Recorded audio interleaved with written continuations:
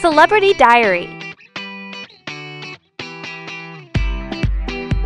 Morning, sweetie. The Salon Fashion Award will be held tonight. I should have a spa before meeting Jeff. I'm on a full schedule today. Let's start the celebrity events now. Let's start the day with a beauty spa. Let's glam up for the hottest event. As a celebrity, I have to look perfect all the time. It's party time! Time to have a weekend getaway! Let's rule the red carpet! Celebrity Diary